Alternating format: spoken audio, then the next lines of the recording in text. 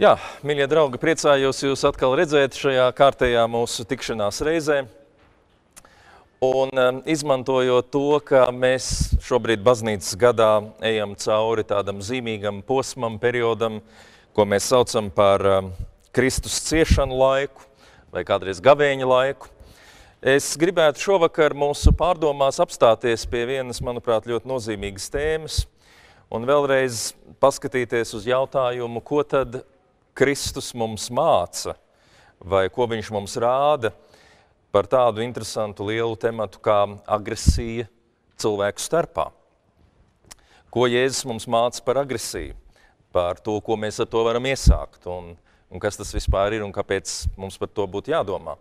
Un es sākšu ar tādu elementāru atgādinājumu, ka ļoti daudziem cilvēkiem, tad, kad viņi pirmo reizi lasa Bībeles lapas puses vai, vai mēģina to darīt, viņi ar tādu lielu pārsteigumu atklāja, cik uh, it īpaši jauna vecā derība, ma, jaunā derība mazāk, un tomēr cik daudz šajā grāmatā ir jāsastopas ar dažādām agresijas, vardarbības formām.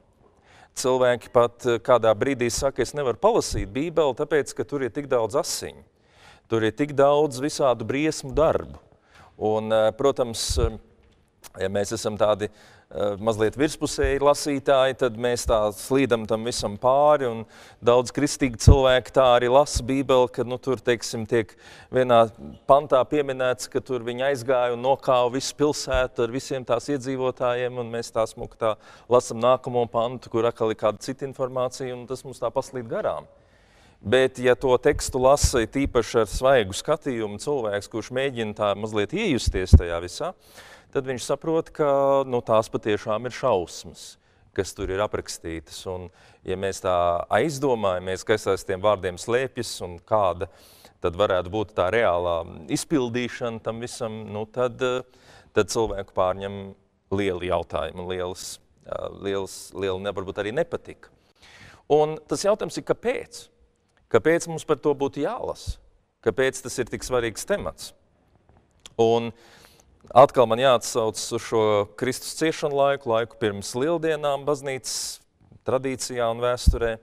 Tā atbilde ir, ka iemesls, kādēļ raksti tik daudz par to runā un kāpēc arī mēs pirms lieldienām par to domājam, konkrēti jau stāstā par Kristus ciešanām un to agresiju, ko viņš piedzīvo. Tas iemesls ir tas, ka mēs dzīvojam vienā ļoti agresīvā pasaulē kur, paldies Dievam, man tā gribās teikt, ka varbūt kaut kādos pēdējos gadsimtos mēs aizvien veiksmīgāk mākam savu agresivitāti kaut kā, eh, es pat teiktu, diemžēl nevis atrisināt, bet kaut kā varbūt paslēpt kaut kādās tādās, nu, gribētos cerēt mazlietiņ mazāk postošās formās un izpausmēs. Taču cilvēka sirds jau ir tāda pati, kāda viņa bija pirms tūkstošiem gadu un mūsu tās dabiskās instinktīvās reakcijas jau nav mainījušās. Un tas ir iemesls, kādēļ es to atkal un atkal nemitīgi gribu jums likt pie sirds, kādēļ uh, Kristus ceļu saprast un vēl jau vairāk iet nav ļoti vienkārši. Es zinu, ka cilvēkiem patīk kristietība reducēt uz vienkāršām patiesībām. Ja tu ticēsi, ka Jēzus ir miris par taviem grēkiem, tad tu nonāks debesīs un tur viss būs kārtībā. Un tad liekas, nu, par ko tad, ko tad tie visi mani dzīves gadi, vai ne, kur es to uzzinu, es parakstos apakšā, viss ir kārtībā. Nē, bet es te vēl mocos, eh, gaidīdams to brīdi, kad es beidzot tajā dārzā tikšu. Kristietība nav vienkārša. Tad, kad Jēzus pats bija kopā ar saviem mācekļiem dienu dienā, stundu stundā, kad viņš viņiem mācīja, rādīja, viņš bija ar viņiem. Vienalga pēc šiem trim gadiem kā minimums, un daži pētnieki uzskatīja, ka īstenībā tas periods bija vēl garāks. Tad, kad pienāk kritiskais brīdis, šie mācekļi ne tikai nesaprot, bet pamet Jēzu un vispār uzvedās tā, it kā viņi neko nezinātu, viņi neko nebūtu sapratuši. Un tikai izējot vēl cauri citām pieredzēm, viņi nonāk pie kaut kādas atziņas. Tāpēc šis jautājums par to, ko mums iesākt ar mūsu dabiskajiem impulsiem, ir vienmēr aktuāls. Un nekad nedomājiet, ka tā ir vienkārša lieta. Pārspēt pašam savu dabisko bioloģisko reakciju. iemācīties kaut kā savādāk uz lietām skatīties. Bet, aizsteidoties visam priekšā, tieši tas, manuprāt, ir kristietības centrālais jautājums. Un man ir ļoti žēl redzēt tos brīžus, kad kristieši runā par Dievu un runā par Jēzu, bet funkcionē precīzi tāpat kā jebkurš cits dabiski domājošs un reaģējošs cilvēks. Un rezultāts bieži vien ir pretrunīgs. Kā man kāds cilvēks sacīja, nu to visu jau mēs mākam. Tur tā, kaut kā tā, pa vecam darboties. Priekš tam, jums jau, priekš tam mums baznīca nav vajadzīga. Baznīca mums būtu vajadzīga, lai mēs iemācītos kaut ko, kas ir mazliet pāri dabiskajam. Pārdabisks, nevis tādā nozīmē, ka kaut kādā citā sfērā esošs, bet pāri par dabisko, normālo pēdiņās reakciju, kura, vēlreiz atkārtošu, ir visnotaļ skarba, visnotaļ agresīva, visnotaļ baisa. Un ja vien mēs nebūtu lūk iemācījušies kaut kā to savu agresiju uh, novirzīt un kaut kā izvairīties no tādiem burtiskiem, ļoti ātriem viņas izrādīšanas uh, gadījumiem, es domāju, mēs uh, turpat vien būtu. Un to pierāda, mīļie draugi, visādas dabas nelaimes un, un nemieri un tā tālāk, ka tik līdz sabrūk sociālā struktūra, cilvēki vienkārši pārvēršas dzīvniekos. Viņi, viņi sāk laupīt, viņi sāk izvarot, viņi sāk darīt visu, ko, Jo vienkārši tajā brīdī, kad teiksim, plūdi tur ir nonesuši to, to mūsu tradicionālo kārtību, izrādās, ka mūsu instinkti ir vienkārši briesmīgi. Izrādās, mums katram šis garīgais ceļš ir jāiet no sākta gala. Un tas, ko raksti tātad mēģina mums parādīt, ir, ka cilvēces lielākais posts ir tieši mūsu apbrīnojamās spējas. Jūs zināt, stāsts par grēku sāks Vispirms ar stāstu par to, ka Dievs rada būtni, kurai ir absolūts privilēģijas. Būtni, kas ir spējīga pazīt Dievu, domāt par visaugstāko abstrakciju, kur ir spējīga līdz ar to savā dzīvē pārspēt kaut kādus dabiskos ierobežojumus un atrast risinājumus un veidus, kā, kā šo pasauli apgūt. Un tā ir brīnišķīga lieta, draugi, ka mēs varam pasauli sev pakļaut. Bet tieši no tā ka mēs esam spējīgi uh, un apdāvināti un, un varoši, piemēram, palikt zem jautājumu zīmes visas mūsu dabiskās attiecības. Un, un uzdot sev jautājumu, kāpēc viņam ir un man nav? Nu, tādā cilvēcīgā līmenī uzdot šo jautājumu, tādā dziļākā līmenī. Tieši tas ir arī iemesls, kādēļ sabiedrība ir tik trausla. Bībele atkal un atkal rāda, ka īstenībā miers un saskaņa un harmonija cilvēku starpā ir trausla lieta, ļoti viegli iznīcinām un satricinām lieta. Tāpēc, ka mēs savu spēju dēļ esam ļoti spējīgi būt viens otram sānceņš, konkurēt viens ar otru, mēģināt atstumt. Un kas ir pats trakākais, mums ir dots, kā cilvēks saka, prātiņš, un tas nozīmē to, ka mēs varam izdomāt visādas nejaucības iepratī citiem cilvēkiem. Jo, ja ir dzīvnieciņi, eh, tad viņi viens otram uzbrūk un kož un skrāpē un badās. Un jūs zināt, ka reālajā dzīvējā dabā ļoti reti, kad ir tā, ka savstarpējās vienas sugas cīņās eh, tur tiešām aiziet bojā kāds. Parasti visādi mehānismi ir, ka tur, teiksim, vienā brīdī tur kāds padodās vai aizmūk, un, un tur ir ievainojumi un tā tālāk, protams, bet parasti nav tā, ka nobeidz viens otru. Ar cilvēku ir pavisam savādāk. Jo mēs uzbrukam ne tikai ar zobiem, un nagiem un, un dūrēm. Mēs esam spējīgi izrakt bedri tā, ka tas otrs iekrīt un ir beigts pa galam. Mēs esam spējīgi izdomāt, ko ar to otru izdarīt. Un nemaz nerunāsim par to, ko mēs spējam izdarīt, tad, ja mēs esam vairāki iedomājušies, ka mums ar kādu jātiek galā. Tad patiesībā gandrīz neviens nevar pastāvēt, jo, jo, jo pūlis vienmēr būs spēcīgāks, gudrāks, izmanīgāks nekā tas viens indivīds, kurš mēģinās pastāvēt. Un ja viņš izbēgs vienreiz, tad pēc tam viņam atnāks pakaļ, tad, kad viņš guļ. Un rezultāts būs vienalga mērķtiecīgs. Tātad cilvēks ir apbrīnojami spējīgs otru iznīcināt. Un izdarīt to rafinētos veidos un ļoti nežēlīgos veidos, iznīcināt individu, iznīcināt veselas tautas. Un tas, ko Bībele nemitīgi rāda, ir, ka rezultāts ir tāds, ka tā milzīgā enerģija, kura cilvēkam ir dota, ar kuru mēs varētu nu, tā skaisti, poētiski sakot, mēs varētu tik daudz labi izdarīt. kur mēs varētu viens otram tik daudz palīdzēt, šī enerģija tiek pazaudēta. Šajos bieži vien neauglīgajos konfliktos, kuru iemesls, starp citu, ir kā reiz tas, ka mums trūkst, ka mums sāp, ka mums nav viegli, un tāpēc mēs karojam, bet iedomājieties, kas tas, tas trakums ir, ka man sāp, un mana dabiskā reakcija ir, ka šīs sāpes es gribu kaut kā izpaust. Es gribu kaut kādā mērā atrast kādu, kam es varu uzbrukt, kam es varu, pār kur es varu izgāzt savas dusmas. Un tas nozīmē, ka jo vairāk mums ir problēmu, jo lielāka ir iespēja, ka mēs plēšamies savā starpā. Un tas nozīmē, ka mēs nevis šīs problēmas risinam, meklējot īstenos cēloņus, kāpēc tad mums neiet labi, bet cēloņu vietā mēs cīnāmies viens ar otru. Mēs cīnāmies kā reiz ar tiem, ar kuriem kopā sadarbojoties, mēs varētu šo pasauli reāli mainīt. Un visur tur, kur mēs runājam par kaut kādu kultūras attīstību, tur, kā jums antropologi to labi sacīs, tur vienmēr apakšā ir bijis tas, ka kādai civilizācijai vai lūk šai kultūrai, cilvēku kopībai ir izdevies atrast kaut kādus mehānismus, ar ko šo savstarpējo konkurenci kaut kā savaldīt un šo enerģiju ievirzīt konstruktīvā gultnē. Un tik ilgi, kamēr mums tas izdodas, mēs varam attīstīties. Un tad, kad mums tas vairs neizdodas, mēs vienkārši salēžam visu dēlī, uzsprākstam tajā, kā mēs viens otru iznīcinam. Un tāpēc Bībele tik daudz runā par šo lietu.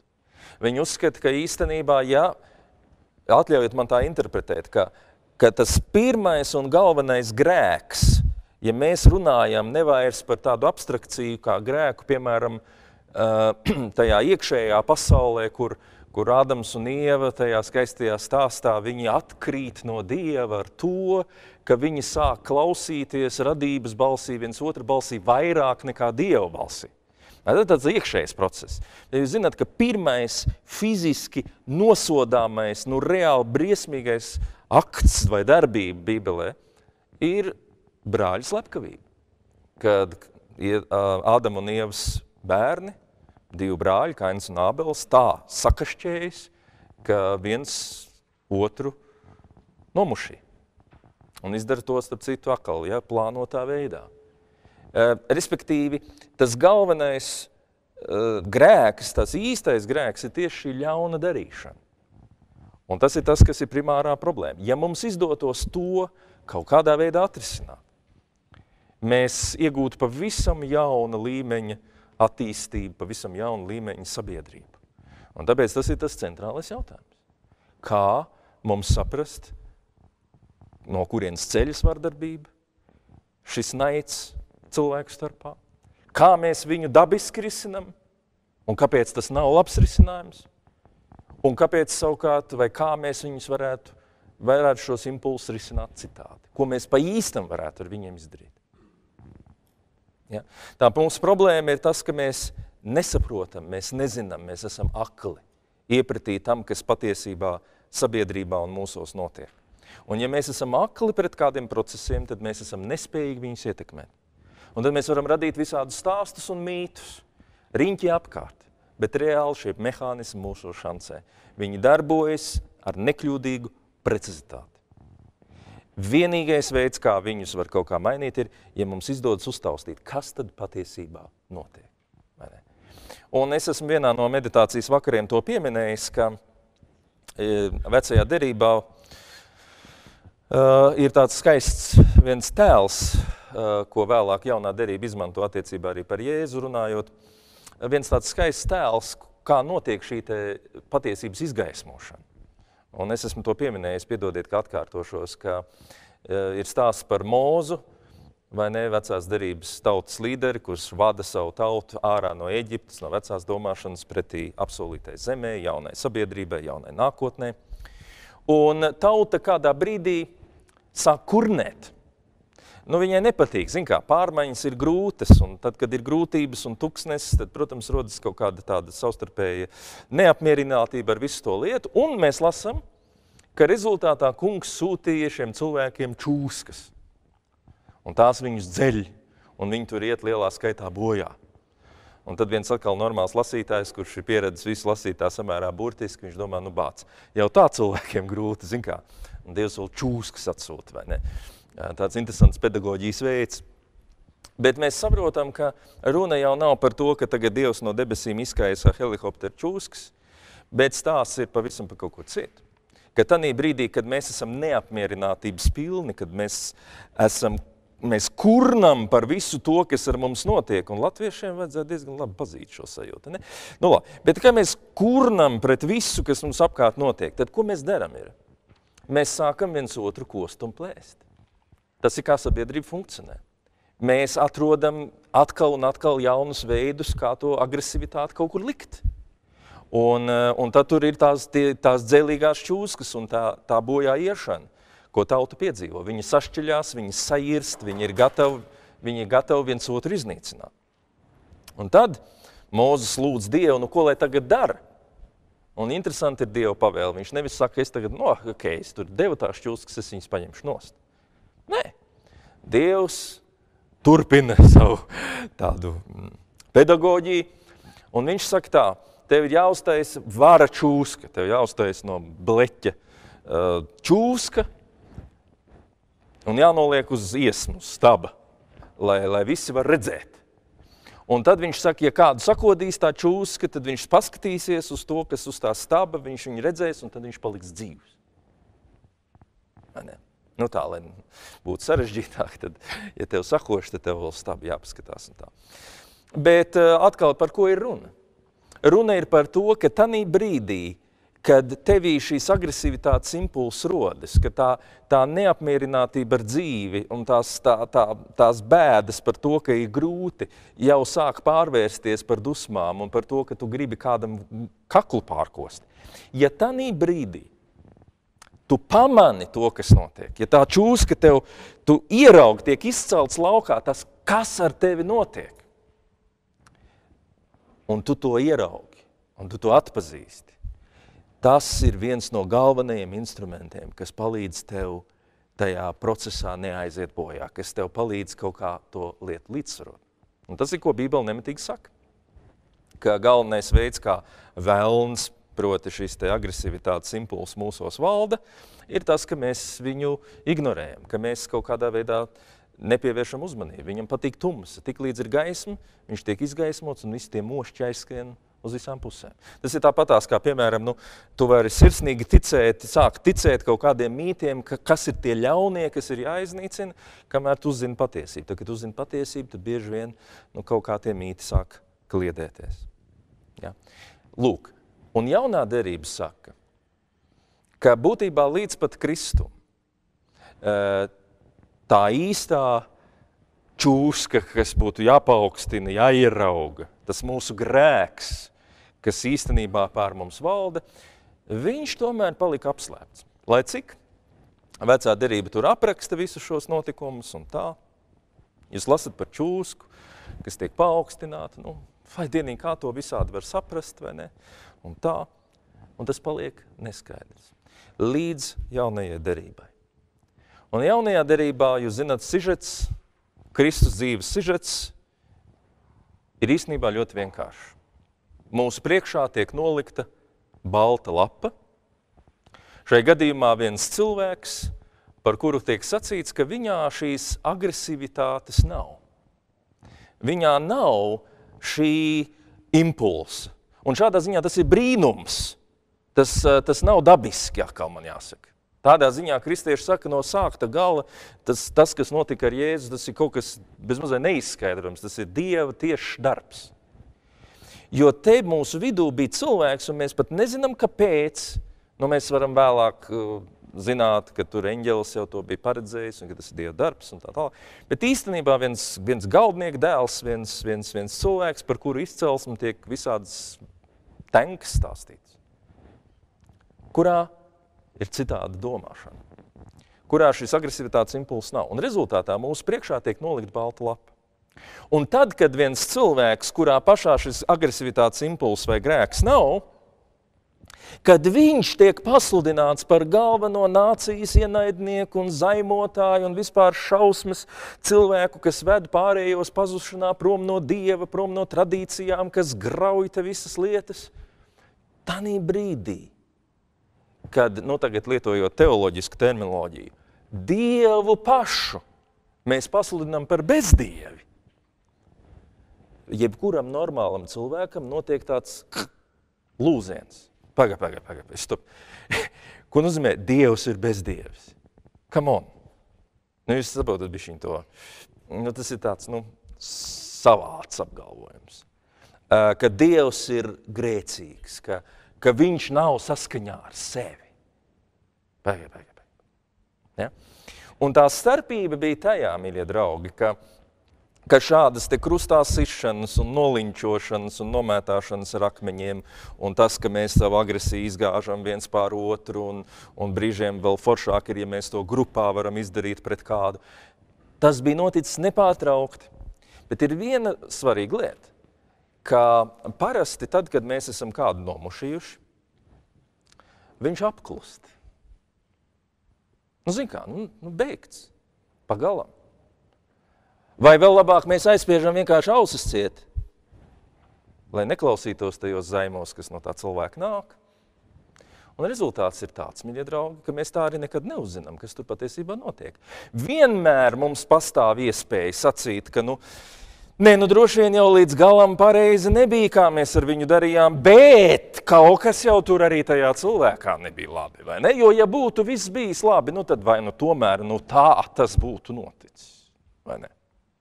Un tas bija precīzi tas, ko vecās derības pravieši nemitīgi piedzīvoja. Savējie viņus vienkārši atstum smuki, paziņo, ka tas, ko viņi tur saka, ir pilnīgs ārprāts, dažādos veidos viņus piedodiet nomušī.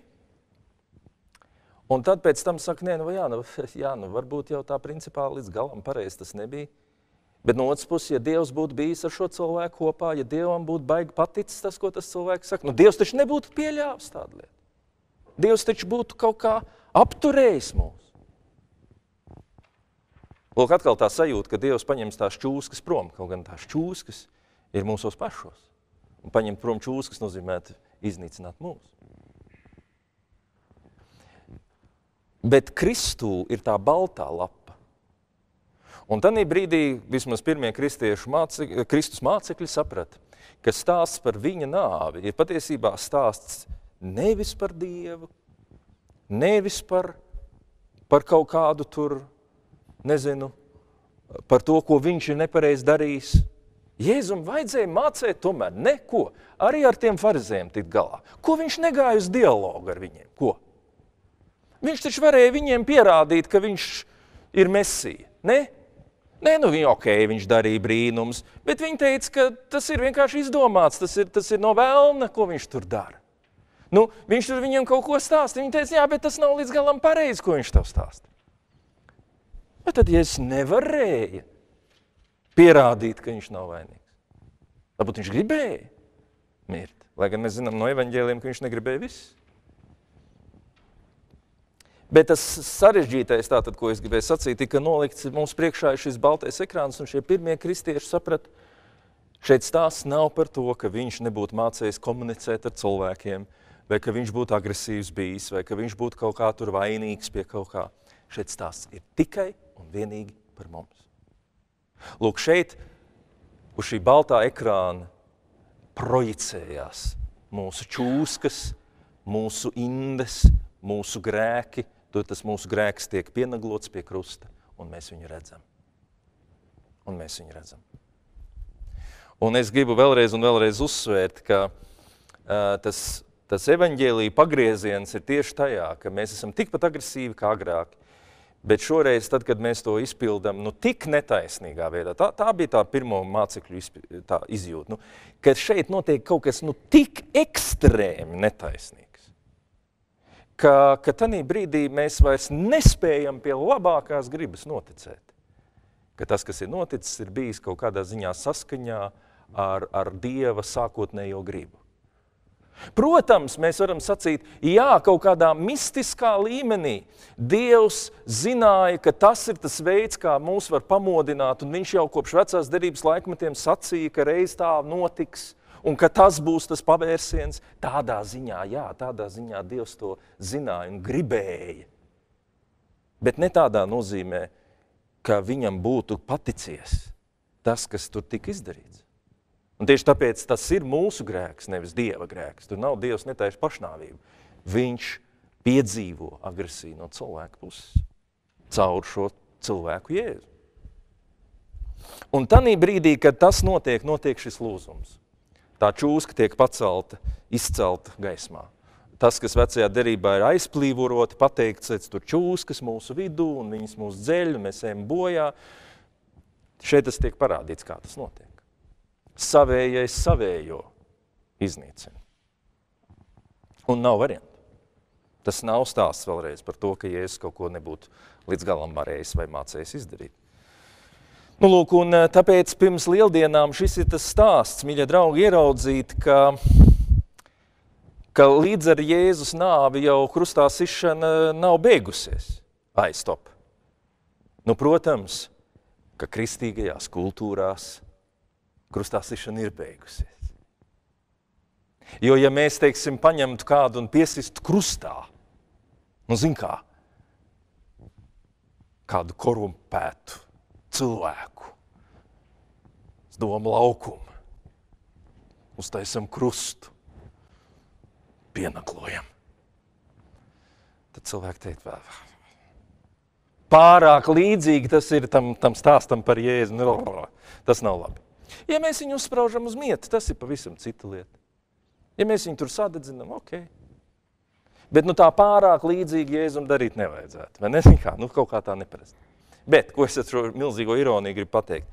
Mēs fiziski krustā nevienu nesitam. Protams, tāpēc, ka tas ir nu, kaut kā nu, pārāk aizdomīgi līdzīgi tam, kas notika toreiz. Un toreiz bija izrādās netaisnīga tā lieta.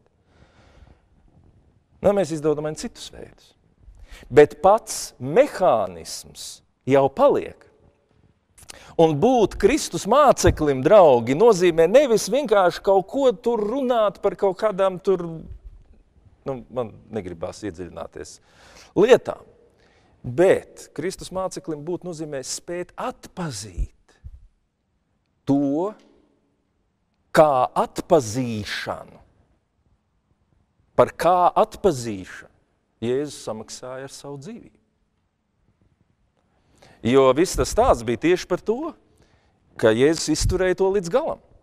Jo farizēji pārmeta viņam, ka viņš ir viltnieks, ka viņš runā par mīlestību, ka viņš runā par to, ka Dievs ir žēlsirdīgs pret grēciniekiem un viņš sēž pie viena galda ar visādiem cilvēkiem, bet īstenībā viņš ir baigais maita, jo viņš vienkārši grauj tautas morāli.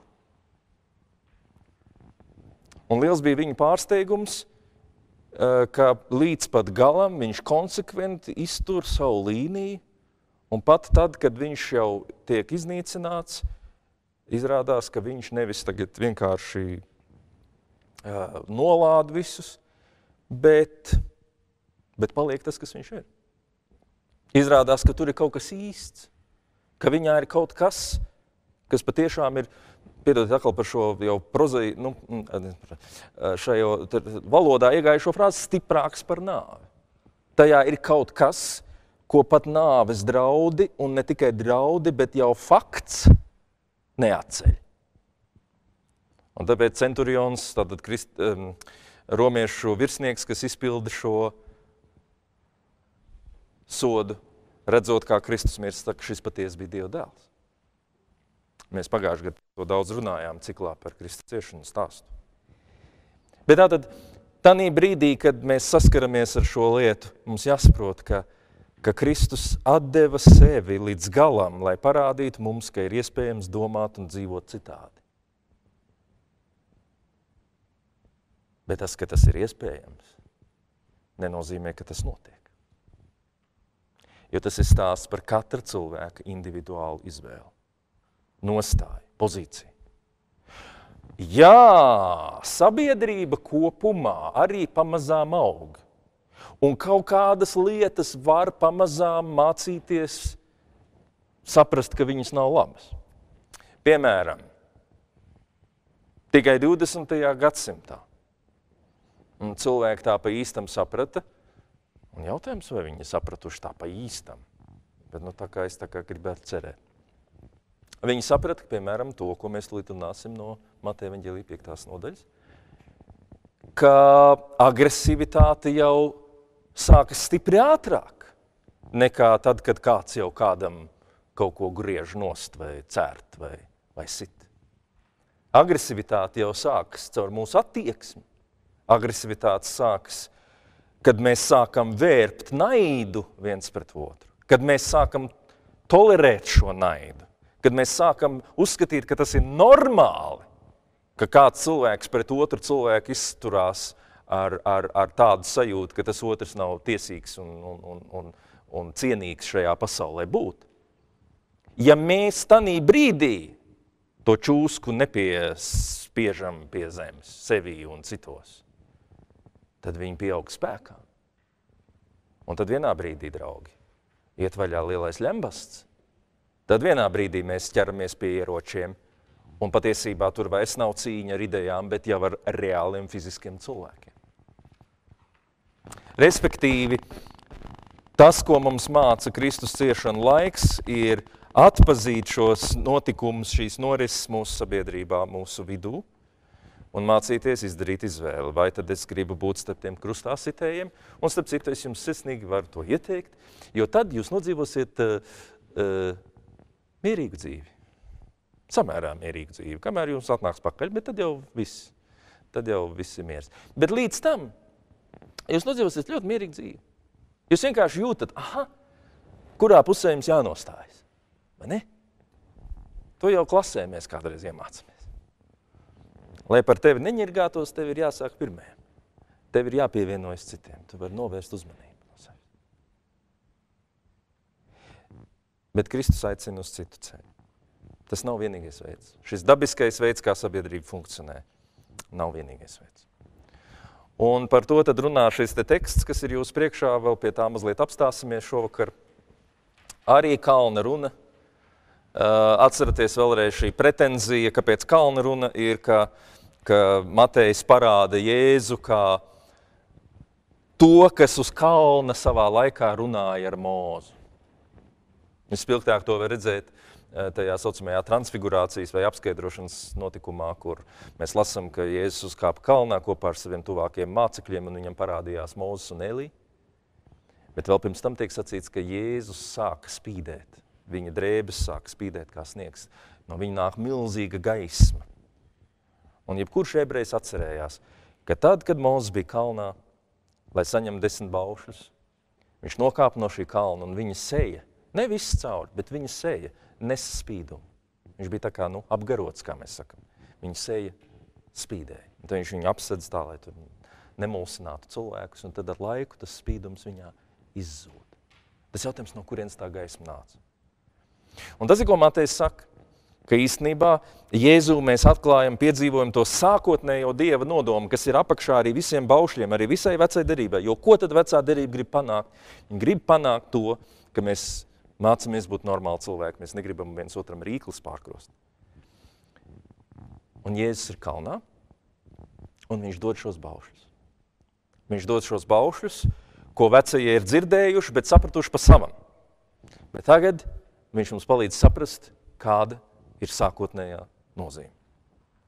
Jūs esat dzirdējuši, un tad ja tur ir interesanti, tā piektā nodaļa ir pilna ar šiem te, jūs esat dzirdējuši, bet es jums saku, jūs esat dzirdējuši, bet es jums saku. Un tas nav, ka viņš koriģētu kaut ko. Bet tas ir stāsts par to sākotnējo ideju. Nevis viņš kaut ko jaunu raksta, bet viņš parāda mums, kas tur ir domāts, kas ir tajos baušļos ietverts. Un šeit ir šis fragments, ko latviešu tulkotāji nosaukuši par slepkavību un dusmām. Tāds mīļš temats, ne? Tāds iedvesmojošs. Lūk. Bet ļoti interesants teksts. Jūs esat dzirdējuši, ka tēvu tēviem ir sacīts. Nenogalini. Un te tas vārds neslepkavo, nenogalina, tas nav tādā abstraktā nozīmē, vai ne, kaut kādā tur džainistu vai citā nozīmē, ka mēs slaukam skudras sev priekšā. Bet stāsts ir par to, ka uh, iet runa par slepkavību, runa par to, ka cilvēks cilvēku atstumj. Un kas nogalina, tas ir nododams tiesai. Respektīvi, sabiedrības uzdevums ir cīnīties ar vardarbību. Un kā tas notiek? Tad, kad tu konstatē vardarbību, fizisku vardarbību, tad tu to diagnosticē un tu dod pretī. Un tas ir domāts tāpēc, lai nevajadzētu atriepties acis pret aci, jo tad, kad atriebjās acis pret aci, tad vienmēr ir bišķi vairāk. Un tad tas aiziet progresijā. Cilvēks cilvēkam atmaksā, un tad tas jūtās, ka man pa daudz ir atmaksāts, un tad man jāatmaksā pretī. Un, un tā tā agresija vienkārši aug. Tāpēc tika izdomāts šis moments, ka tu nedrīksti pats atriepties, un tas ir viens no fantastiskiem cilvēks sasniegumiem. Ka tu tev dara pāri, bet nevis tu pats ej un tur, bet tu sagaidi, ka citi aizies un to izdarīs, tāpēc, ka tie citi spēs to izdarīt. Pirmkārt, viņi spēs to labāk izdarīt, bet otrkārt, viņi spēs to maķinīt, eventuāli taisnīgāk izdarīt, tāpēc, ka viņi viņi redz jūs abus divus daudz maz līdzsvarā. Tas ir, kas ir tā mācīts vecajiem, bet es jums saku, viņš saka, tātad es jums paskaidroju, es jums dodu to sākotnējo domu. Tā sākotnējā doma ir nevis, ka mēs nedrīkstam vienkārši rīkli pārgriezt otram, un ka tad, ja tas notiek akurā, tad mēs ejam tiesā, bet runa ir par procesu. Un ja es saku, ik viens, kas uz savu brāli dusmojas, ir nododams tiesai. Un šie, protams, ir briesmīgi dziļi vārdi. Tādi, nu, ja mēs tā kā nopietni viņus paklausāmies, ja kurš no mums nav dusmojies, kurš no mums nav bijis kaut kādā brīdī aizkaitināts par kaut ko, nikns par kaut ko, vai ne? Šeit tiesā. Bet šeit tā tiesa, ka jāsaprot jums pareizi, tas tā Dieva sākotnējā, sākotnējais nodoms jau nav vienkārši atmaksāt, atriept. Mēs tā saprotam, mūsdienās, diemžēl, arī bieži vien, nu, atkal man jāsaka, pēdējos gadu desmitos ir bišķiņi kaut kādi pirmie asniņi mainījušies, ka varbūt sots nav domāts tam, lai vienkārši atmaksātu un to cilvēku ielikt kaut kādā bedrē, ka varbūt tur ir kaut kāda ideja par to, ka varbūt varētu to cilvēku kaut kā koriģēt, ka viņam tur varētu, tas tā ideja varētu būt tāda, ka ka, ka mēs kaut ko ar viņu izdarām, lai viņš tā vairāk nedarītu, vismaz vieglākos gadījumos, kad kaut kāda pārmaiņa ir cerama. Tā tiesa nav atmaksas tiesa. Tā tiesa ir, ka jātiek galā ar lietu, ka ir jāmēģina saprast, kas notiek. Un tas jautājums, kas notiek, ir jāuzdod nevis tad, kad kāds jau ir miris. Tas jautājums ir jāuzdod tad, kad ir šīs dusmas. Jo tas ir iemesls. Un psihologi mums pateiks, ka dusmas arī pat ir jau stadija, ka īstenībā sākotnējais iemesls ir bailes, apdraudētības sajūta, kā rezultātā es esmu sadusmojies. Un ja es nereflektēju par to, ja es neeju tiesā ar šīm dusmām, ja es, ja es netieku skaidrībā, kas tas manī ir, tad es varu būt pilnīgi pārliecināts, ka tā būs tāda kaskāde. Un te viņi turpinās. Nākamais solis, ik viens, kas uz savu brāli saka, nejēga. Un te latviešu tulkotāji tādi bišķiņi tādi bijuši maigi, nu, muļķis tāds. Tā doma ir tāds, nu, duraks. Uh, respektīvi apsaukāšanās vārds. Tas nav tāds, nu, tāds neitrāls konstatējums, nu, ka cilvēks tāds bišķiņ nejēg. Ja? Tas ir tāds lamovārds. Tad, kad tu sāc lamāt cilvēku, tad, kad tu sāc viņu dēvēt kaut kādos vārdos, eh, paust verbālu agresiju, tas ir nododams sinedrijam, un sinedrijs nozīmē augstāko tiesu. Sinedrija nozīmē, tas sinedrijs nozīmē, sinedrijs bija vienīgais, kas bija spējīgs jau pieņemt lēmumu par to, ka, ka, ka te ir kaut kādi galējie mēri jāpieņem. Respektīvi, tas cilvēks, kurš jau sāk verbāli būt agresīvs, uh, nav uztverams kā, oh, tas jau nekas, tie tikai vārdi. Tāpēc, ka šī agresija ved pie nākamiem soļiem. Un dažkārt ar šo agresiju pietiek, lai cilvēki izdarītu kļūdas savā dzīvē. Un te es gribētu ļoti uzsvērt, draugi, ka ja mēs kādu esam noveduši, tad mēs esam viņu noveduši. Un mēs varam pateikt, nu jā, bet viņš jau pats izdarīja. Mēs savā ziņā viņu novedām līdz tam. Un atkal mūsdienās cilvēki to saprot, ka, piemēram, ja mēs novedam cilvēku uz pašnāvības robežas, tad savā ziņā tā ir mūsu vaina, ne tikai tā cilvēka vaina. Bet, kas uz savu brāli saka, stulbais bezdievi, tas ir nododams ēles ugunīs, respektīvi tas ir jau Sa, šī noskaņa, ja, saku, ja pirmā ir tiesājama, izvērtējama, tev ir ļoti svarīgi, tad, kad tu esi dusmās, tev ir ļoti svarīgi saprast, kas ar tevi notiek. Nepalaid to garām. Ja tu jau sāc agresiju laist uz āru, tas ir mirklis, kad tu saproti, pēdējās lampiņas deg. šeit ir visaugstākā trauksme. Tad tajā brīdī, kad stulbēs bez dieva, tas ir nododams ēles ugunīs, tas nozīmē, šeit ir jāpavalk strītra. Jo ēles uguns, draugi, nav kā jums ir kādreiz mācīts, ka ellē tur vienkārši dievs moca, zin kā viņam patīk, nu, atriepties, un tad viņš, teiksim, ja jūs te visu mūžu garumā neesat apliecinājuši viņa mīlestību un esat ticējuši viņa mīlestībai, tad viņš to arī pierādīs tādā veidā, ka jūs tad kurinās visu atlikušo mūžību. Ja? Elle ir gals, elle ir tā krāsnes, kurā samet iekšā malku, kurā samet iekšā atkritums sadedzināšanai. Getliņi, ne, bet, nu, kā es vienmēr to saku, tātad, nu, plastmasas pārstrādes katls, ja? Un līdz ar to te ir, te ir te ir jābeidz, te ir, te ir galējā, te ir, te ir beigas, te ir sākums iznīcībai. Un kāpēc stulbais desdieva? Arī lamāšanās stulbais. Bet, ziniet, tas stulbais šeit ir mazāk svarīgs. Svarīgs ir tas bezdievis. Bezdievis tas nozīmē, ka tu ne tikai dusmojies uz savu brāli un apskaud viņu, ne tikai tu sāc runāt par viņu sliktas lietas, ko viņš jau tāds un šitāds un nejēg un muļķis un nesaprot neko un vispār maldos dzīvo, bet tu sāc teikt, viņš ir bezdievis. Un tas nozīmē, ka tu sāc kūdīt citus pret šo cilvēku.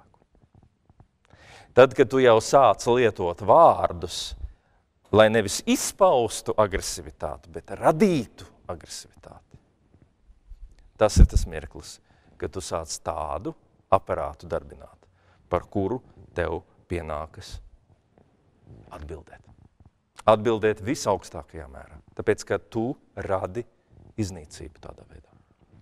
Un atkal jūs varat uzdot sev jautājumu, cik bieži jūs savā dzīvē to esat sastapuši. Kā tas ir, ka mēs, kā saka, kādreiz demonizējam savus ienaidniekus, ka mēs viņus padaram par, par, par tādiem, kuri, jā, kuriem viss, kuri, kurus būtu jāienīst. Ļoti interesanti un ļoti smaga tēma, vai ne? Jūs piekritīsiet.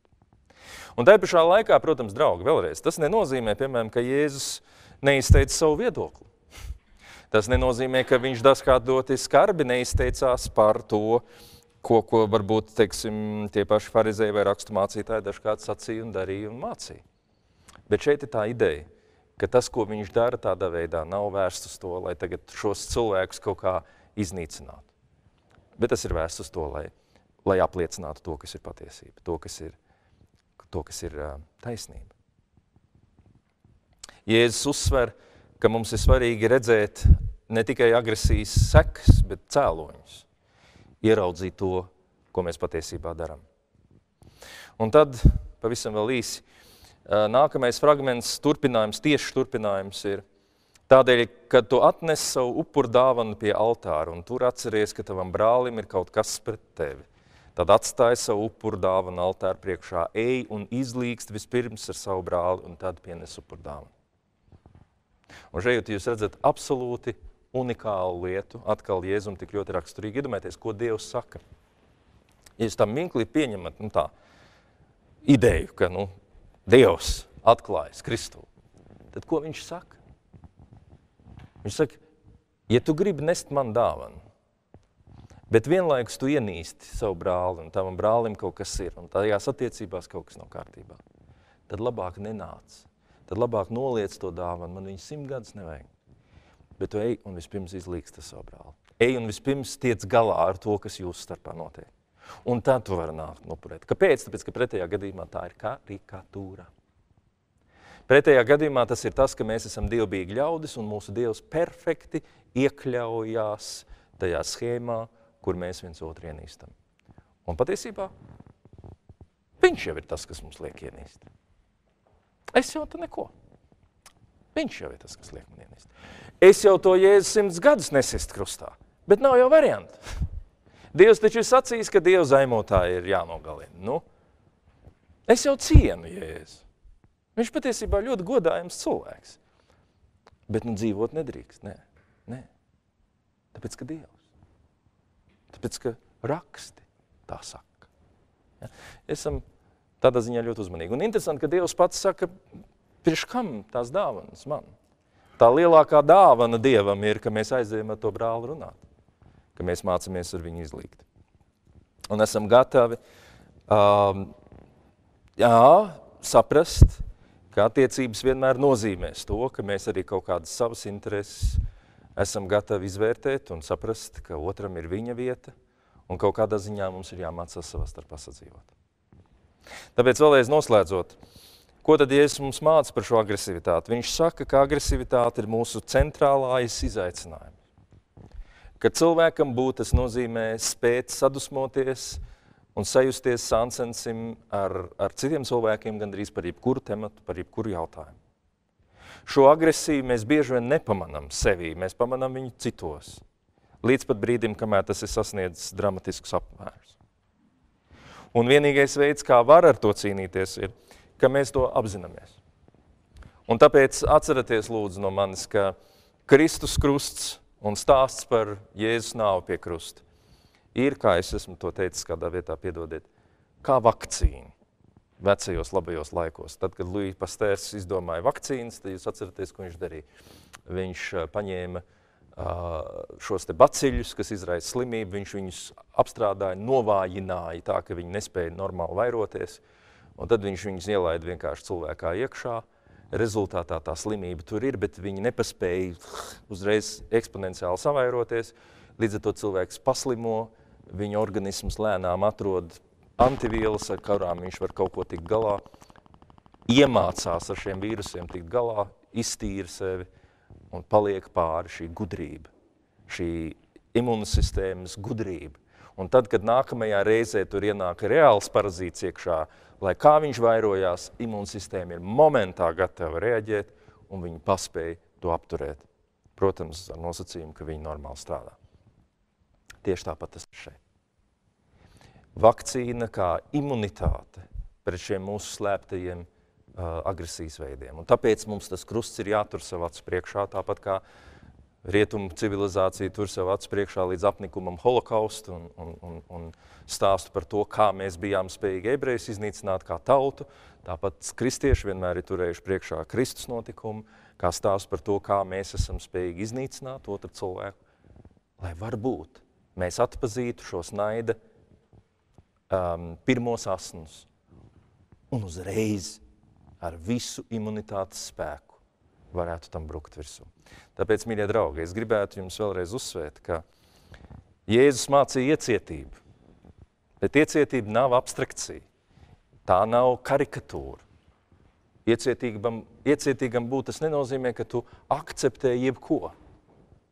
Tur kāds cilvēks sēja naidu, un tu saki, jā, ok, nu ļoti leģitīms viedoklis. Kā cilvēks uzskata, ka, ka otrs nav tiesīgs būt, tu saki, jā, nē, nu, ok, nu, normāli. Nē, tas nav normāli. Tieši tas, kurš saprot, ka iecietība ir svarīga, nav iecietīgs pret neiecietību. Tas, kurš saprot, ka agresija ir galvenā problēma, mēģina to bacili ierobežot, kamēr tā vēl ir tikai ideja, kamēr tie ir vēl vārdi, kamēr tā ir tikai vēl doma. Jo, ja nē, tad tas vienkārši iet uz priekšu.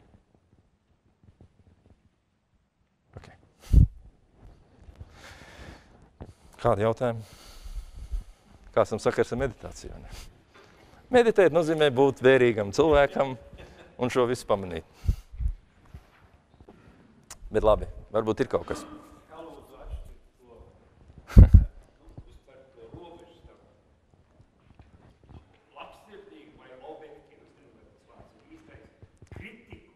Uh -huh. savu brāli. Uh -huh. No tā briesmlietām, Kā šķiet kritiku pret savu brāli no briesmlietām pret savu brāli? Es domāju, ka ir diezgan sarežģīti to vārdiski nošķirt. Jautājums ir par mērķi. Jautājums ir par mērķi. Un eh, tā labsirdīgā kritika būs vērsta uz to, ka tu mēģini to brāli, kā jūs viņu saucat, eh, eh, varbūt koriģēt vai ar viņu runāt, bet jūsu intence nav, kā šeit, stulbais bezdievi. Jūsu intence nav ar saviem vārdiem viņu iznīcināt vai citos cilvēkos radīt vēlmi viņu iznīcināt. Jūsu galvenā intence ir norādīt uz problēmu un eventuāli cīnīties ar šo problēmu, bet vienmēr paturēt prātā, ka tas cilvēks ir cilvēks. un lai kāds viņā ir bacils iepirinājies, un principā viņš ir infekcijos, un principā viņš var nodarīt daudziem postu, tas nenozīmē, ka mēs viņu šaujam nost. Tas vienkārši nozīmē, ka mēs saprotam, ka tāda ir situācija, un principā uzdodam sev kritiskus jautājumus, kāpēc tas tā ir noticis. Tāpēc es sacītu, ka tas, tā ir ļoti tiešām smalka nianse, vai tu vēlies pasludināt spriedumu un iznīcināt to otru ar savu kritiku. Jeb tu vēlies tiešām nonākt pie kaut kādas skaidrības. Un, uh, es domāju, ka tad, kad tu gribi nonākt pie skaidrības, tad visticamāk tas nozīmēs, ka tu esi gatavs arī tiešām ieklausīties un mēģināt saprast to otru cilvēku. Un mēģināt varbūt palīdzēt tam otram cilvēkam atšifrēt, kas ir tas, kas īstenībā viņā notiek, un uh, kas ir tas, ko viņš mēģina aizstāvēt, un kas ir tas, kas ir viņa intereses lai meklētu risinājumus, kā mēs varam tās intereses īstenībā aizstāvēt. Jo redziet, kas paliet, man nav jāizdabā katrai cita cilvēka vēlmei, bet man būtu pēc iespējas katru reizi tas otrs cilvēks jāuztver daudz maz nopietni. Un jāsaprot, ka ja viņš kaut ko saka, un ja viņš par kaut ko cīnās, tad tur ir kaut kāds arī racionāls grauds apakšā. Jā. Bet uh, jā, to ir diezgan sarežģīti tā ļoti vienkārši un skaidri nošķirt.